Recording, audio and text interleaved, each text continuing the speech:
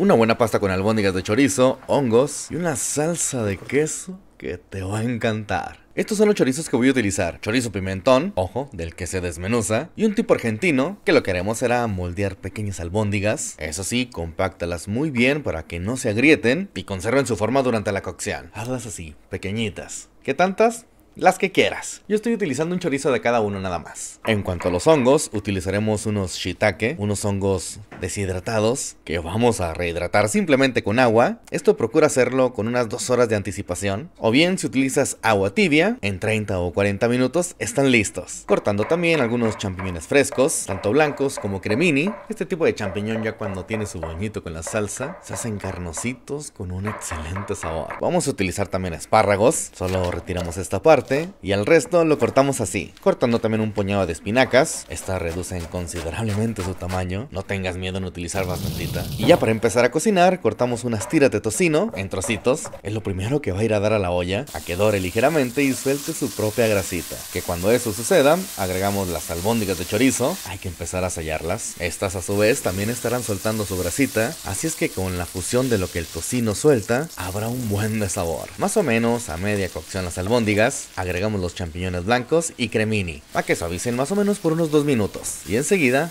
agregamos las espinacas, estas en 2 o 3 minutos reducirán un buen su tamaño, observa. Y en ese momento agregamos los espárragos, no les des mucha cocción, simplemente una salteada. Agregando enseguida los shiitake, checa como ya rehidratados tomaron flexibilidad. Los agregamos a la olla y damos un minuto más para que impregnen su sabor. A estas alturas ya tengo una olla hirviendo a la que le agrego simplemente sal. Es aquí donde vamos a cocinar la pasta, que en este caso voy a utilizar farfal. Su nombre se deriva de la palabra italiana farfala, cuya palabra significa mariposas. La encontrarán en el supermercado en un mix de colores, así está más coqueto este asunto, por lo que el fabricante indica unos 8 o 9 minutos de cocción. Así es que ya en el agua movemos de vez en cuando hasta que esté lista. Mientras en la olla, así es como vamos, agregamos unos 20 gramos de crema espesa, 150 mililitros de crema líquida y un poco de crema de esa de la que solemos usar para los taquitos dorados, para las flautas. Yo por la consistencia, aunque con las dos cremas anteriores es suficiente. Agregamos un poco y ya simplemente mezclamos